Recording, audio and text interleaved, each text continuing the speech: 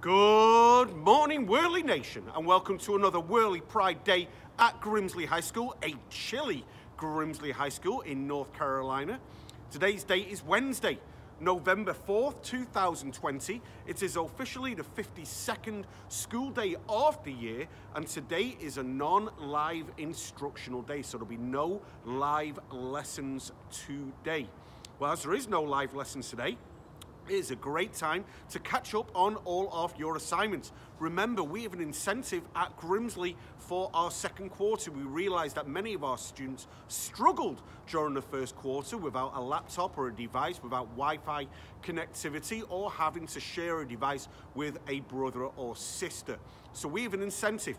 If your second quarter grade is better than your first quarter grade, we will replace that out. Remember, this is a Grimsley incentive. We want you to be the best and do the best each and every single day.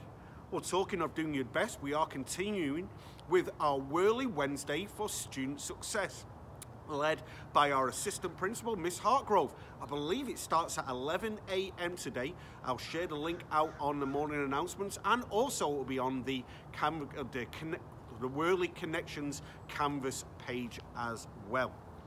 Well, you know, we are continuing with our college visits, virtual of course, for our sophomores, our juniors and our seniors. This is a great time to check out the different colleges and universities that are available.